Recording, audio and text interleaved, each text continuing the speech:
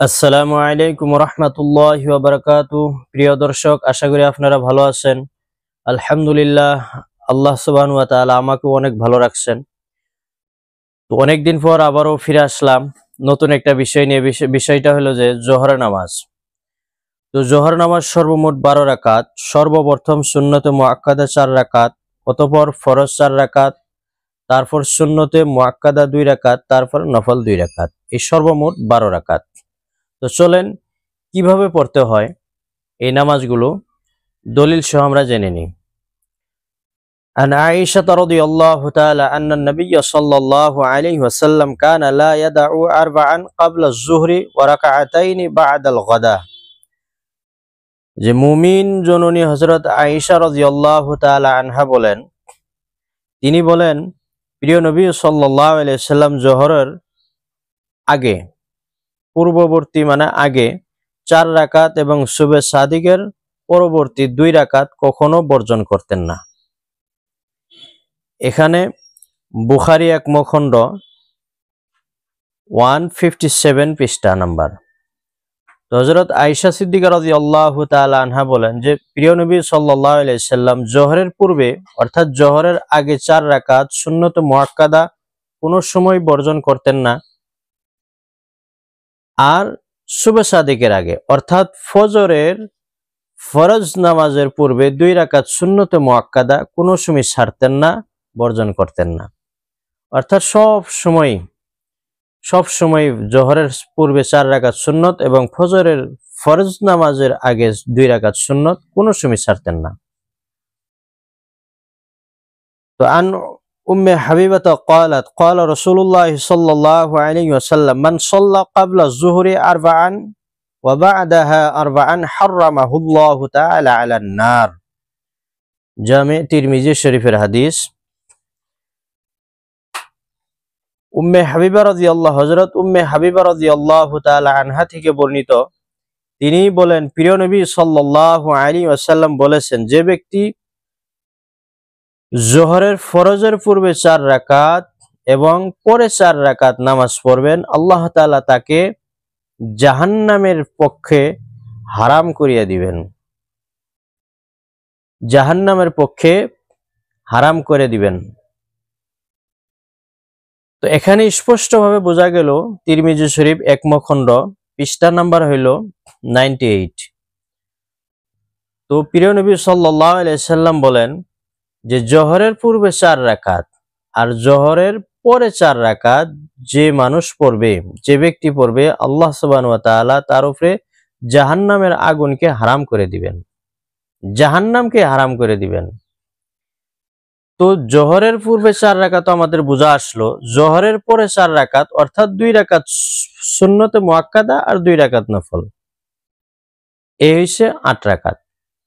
তো আশা করি আমরা জোহরের চার রাকাত শূন্যতে মোয়াক্কাদা এবং জোহরের ফরজ, জোহরের চার রাকাত ফরজ নামাজের পর শূন্যতে মোয়াক্কাদা দুই রাকাত আর দুই রাকাত নফল। তো ইনশাল্লাহ আমরা সবসময় সর্বদাই পড়ব ইনশাল্লাহ তো চলেন এই মোট চার বারো রাকাত নামাজ আমরা কীভাবে পড়ব? এক নাম্বারও তো আমাদের চার রাকাত শূন্যতে মোয়াক্কাদা পড়তে হবে জোহরের পূর্বে। জোহরের পূর্বে চার রাকাত সুন্নত নামাজ আমরা নিয়ত এইভাবে করব যে আমি জোহরের চার রাকাত সুন্নত নামাজ পড়িতেছি। কিবলা দিকি দাঁড়িয়ে আল্লাহর ওয়াস্তে আল্লাহ আকবর। আমি আপনার নিয়তটা আরও সংক্ষিপ্ত করতে পারি যে আমি জোহরের পূর্বে চার রাকাত সুন্নত নামাজ পড়িতেছি, আল্লাহর ওয়াস্তে আল্লাহ আকবর। আমি জোহরের পূর্বে চার রাকাত সুন্নত নামাজ পড়িতেছি, আল্লাহ আকবর। কল্পনা করলে নিয়ত হয়ে যাবে। শুধুমাত্র আপনি কোন ওয়াক্ত এবং কত রাকাত এবং কিসের নামাজ পড়তেছেন, এই তিনটে বস্তু লক্ষ্য রাখবেন। কোন ওয়াক্তের কত রাকাত, কিসের? কত রাকাত? কিসের অর্থাৎ সুন্নত না নফল না ফার্জ, এটা উল্লেখ রাখবেন। যা আমি জোহরের চার রাকাত সুন্নত, তিনটা উল্লেখ, মোটামুটি তিনটা বিষয়। কত রাকাত, কোন সময় এবং কিসের নামাজ, সুন্নত না ওয়াজিব না ফার্জ, এই তিনটা বস্তু লক্ষ্য রাখবেন নিয়তের ভিতরে। যা আমি জোহরের পূর্বে চার রাকাত সুন্নত নামাজ পড়িতেছি। আল্লাহর ওয়াস্তে আল্লাহ আকবর করে এরকম ভাবে নিয়ত বাঁধবেন, কান পর্যন্ত হাত উঠাইতে হবে, নিয়ত বাঁধবেন নাভির তলে। তারপরে তারপরে নিয়ত বান্দার পর সানা পড়বেন। সানা পড়ার পর আউজুবিল্লাহ বিসমিল্লাহ পড়ে নিয়ে সুরা ফাতিহা শুরু করবেন। সুরা ফাতিহা পড়ার পর যে কোনো বিসমিল শেষ সুরা ফাতিহা শেষ হওয়ার পর আমিন বলবেন। আমিন বলার পর আবারও বিসমিল্লা পরে অন্য একটা সুরা আপনি পড়বেন। সাপোজ আলাম তারা সুরা আপনি পড়লেন, সুরা ফিল আলাম তারা পড়লেন।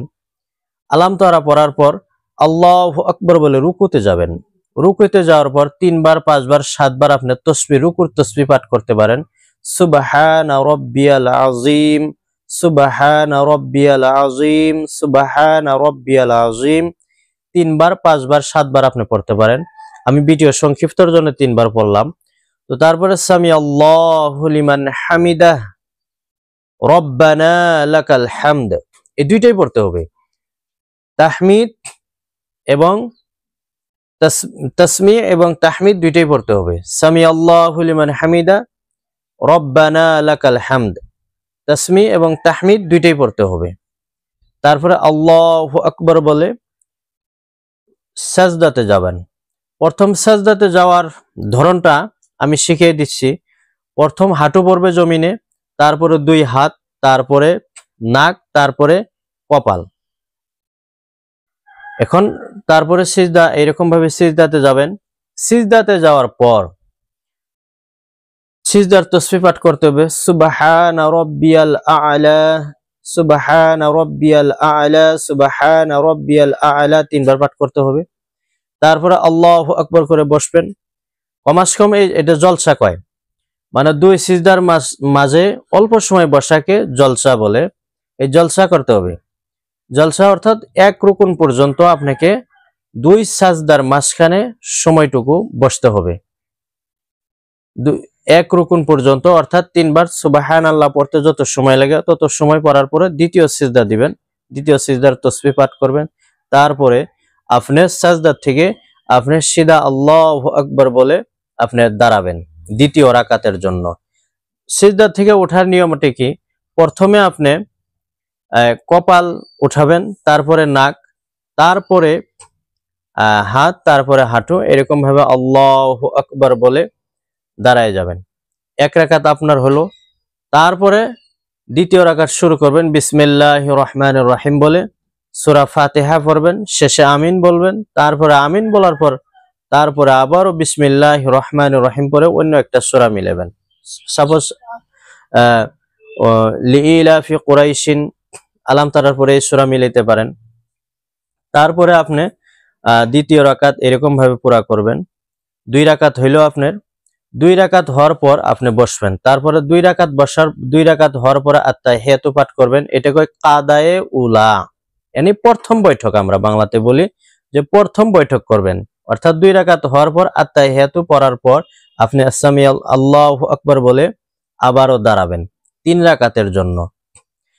তিন রাকাতেও আপনি সেম দ্বিতীয় রাকাতের মতোই করবেন। বিসমিল্লাহ রহমান রাহিম পরে সুরা ফাতেহা পড়বেন এবং সুরা ফাতেহার শেষে আমিন বলবেন। বিসমিল্লা বলবেন বলবেন, আবারও অন্য একটা সুরা মিলাইতে হবে। অনেক মানুষ আমরা ভুল করে থাকি যে কি সুন্নত এবং ফরজ নামাজ একই ধরনের পড়ি। ফরজ যেরকম দুই রাকাতে সুরা মিলাইতে হয়, তিন নম্বর এবং চার নম্বর রাকাতে সুরা মিলাইতে হয় না। কিন্তু এর উল্টা, এর বিপরীত সুন্নত। সুন্নতে আপনার চারো রাকাতেই সুরা ফাতেহা পড়তে হবে, চারো রাকাতে সুরা মেলানোটাও অজীব চারো রাকাতেই সুরা মিলাইতে হবে। এই জন্য আমরা কিসের নামাজ পড়তেছি? জহরের পূর্বে চার রাকাত সুন্নত নামাজ। এই জন্য তিন নম্বর রাকাতেও সুরা ফাতেহা শেষের পরে বিসমিল্লা পড়তে হবে। বিসমিল্লা পড়ার পর অন্য একটা সুরা মিলাইতে হবে। তারপরে রুকু, সাজদা যেভাবে আমরা করলাম প্রথম রাকাতে, সেই রকম রাকাতে সেইভাবে আমরা এই তিন নম্বর রাকাতটাও আমরা মোকাম্মল করব। তারপরে আল্লাহ আকবর বলে চতুর্থ, অর্থাৎ চার নম্বর রাকাতের জন্য, চতুর্থ রাকাতের জন্য আমরা দাঁড়িয়ে যাব। দাঁড়ানোর পর সেম আগের রাকাতের মতোই বিসমিল্লা পড়বেন, সুরা ফাতেহা, আলহামদু শরীফ এটা পড়বেন। আমি বোঝানোর জন্য এই মানে হাদিসে মশলায় যে সমস্ত নাম বলা হয়, যেরকম চতুর্থ রাকাত বা এই ধরনের আমি বাংলা ভাষা শেখানোর জন্য আমি বলতেছি। নয়তো নামাজের আরবি উর্দু অনেক সুন্দর সুন্দর নাম আছে। যেরকম তসমি তাহমিদ রুকুর তসবি জলসা কাদায় উলা এই ধরনের আমি নাম বলতেছি না। বাংলাতেই বলতেছি প্রথম বৈঠক শেষ বৈঠক আহ, এই ধরনের বলতেছি। যে চার নম্বর রাকাতের জন্য দাঁড়িয়ে যাবেন সেম ভাবে বিসমিল্লা অর্থাৎ তাসমি। তাসমিকে বিসমিল্লা বলে এই আমি বিসমিল্লাই বলতেছি।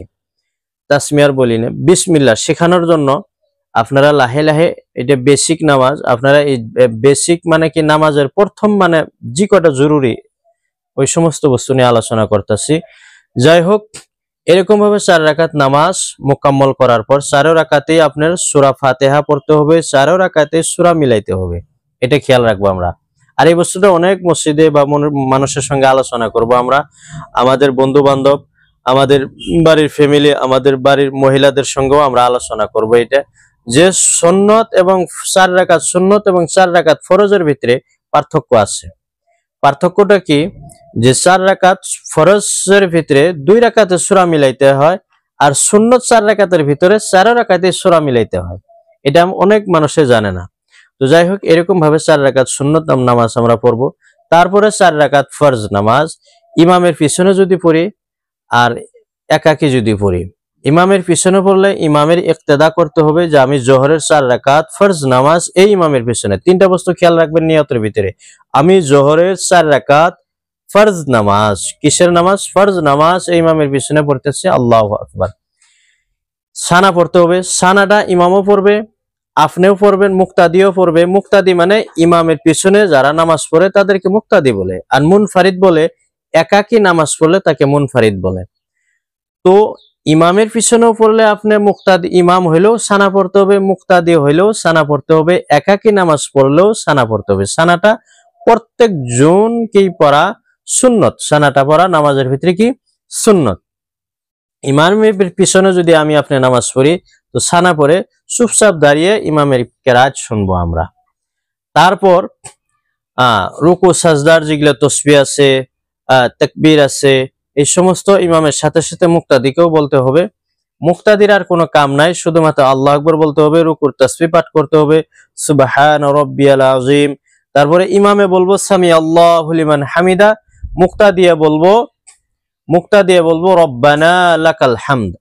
এইটা বলবে মুক্তা দিয়ে তো ইমামে কি বলব সামি আল্লাহ লিমান হামিদা। আর মুক্তা দিয়ে বলব, রব্বানা লাকাল হামদ। আর একাকি নামাজ পড়লে আপনাকে দুইটাই বলতে হবে। যদি আপনি একাকি নামাজ পড়েন, না ইমাম, না মুক্তাদি। একাকি যদি আপনি নামাজ পড়েন, তবে দুইটাই পড়তে হবে। সামি আল্লাহ লিমান হামিদা, রব্বানা লাকাল হামদ, দুইটাই পড়তে হবে। তারপর এরকম ভাবে রুকু, সাজদা দুই রাকাত হইলে আদায়, ওলা অর্থে প্রথম বৈঠক, প্রথম বৈঠকে আপনার আত্মাইহাতু পড়তে হবে। ইমামও পড়বে, মুক্তাদিও পড়বে। আপনার একাকী নামাজ পড়লেও আপনার পড়তে হবে। তো একাকী নামাজ পড়লে, পড়তেই হবে, ইমামেরও পড়তে হবে মুক্তাদিটা ভিন্ন একটু। তো মুক্তাদিকেও পড়তে হবে। এটা মশলা আমি বলতেছি না। যদি ইমাম মুক্তাদি যদি আত্মাইহাতু না আদা পড়ছে, অল্প শেষ হয়েছে, যদি দাঁড়িয়ে যায়, তাও নামাজ হয়ে যাবে, কারণ ইমামের ইক্তেদা করছে সে। তো এই জন্যে নামাজ আহ এরকম ভাবে চার রাকাত নামাজ ইমামের সঙ্গে আপনি পড়তে পারেন। কিন্তু একাকী নামাজ পড়লে ওইটাই ওই সুন্নত নামাজের মতোই, কিন্তু শুধুমাত্র অল্প সামান্য পার্থক্য আছে। সেই পার্থক্যটা হলো কি যে চার রাকাতের ভিতরে আপনার ফরজ নামাজে দুই রাকাতের সোরা মিলাইতে হবে আর দুই রাকাত শুধুমাত্র সোরা ফাতেহা পড়বেন আর রুকুতে যাবেন।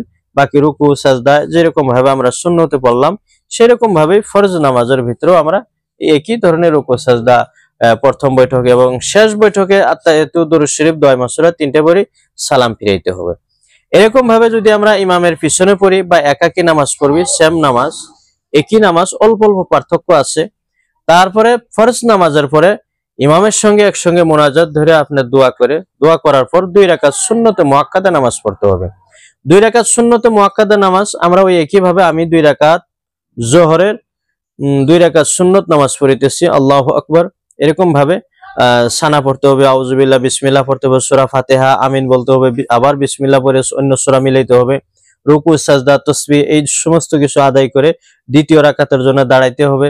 আবার বিসমিল্লাহ রহমান রাহিম পরে সুরা ফাতেহা, আমিন, তারপরে বিসমিল্লাহ, তারপরে আরেকটা সূরা মিলিয়ে দুই রাকাত নামাজ আমরা আত্মায়াতু দুরুদ শরীফ, দোয়া মাসুরা পরে সালাম ফিরে নামাজ শেষ করব। তারপরে এই দল হইল আমাদের দশ দশ রাকাত। আর দুই রাকাত হইছে আপনার নফল নামাজ। যদি আমি আপনি পড়ি সোয়াব আছে, যদি মন দিল ভালো আছে, তাহলে পড়বেন। আর পড়লে অনেক সোয়াব আছে। তো এই জন্য আমরা আশা করি, এই জোহরের নফল নামাজটা দুই রাকাত সুন্নত নামাজ যেরকম ভাবে আমরা পড়লাম হুবহুব সেম টু সেম এরকম ভাবেই দুই রাকাত নফল নামাজ পড়তে হয়। তো আশা করি আমরা এই জোহরের মোট বারো রাকাত নামাজ আমরা কমপ্লিট ইনশাল্লাহ সম্পূর্ণভাবে শিখলাম। আর যদি ভিডিওটা ভালো লাগে যদি আপনি উপকৃত হন, নিশ্চয়ই আপনি শেয়ার কমেন্ট লাইক জরুর করবেন ইনশাল্লাহ অন্য ভাইদেরকেও শেখানোর সুযোগ করে দিবেন। এবং যদি কোনো বস্তু ডাউট থাকে, বুঝেন না নিশ্চয় কমেন্ট বক্সে ইনশাল্লাহ কমেন্ট করবেন। আমি তার উত্তর দেওয়ার জন্য যথেষ্ট, যতটুকু পারি ইনশাল্লাহ চেষ্টা করব।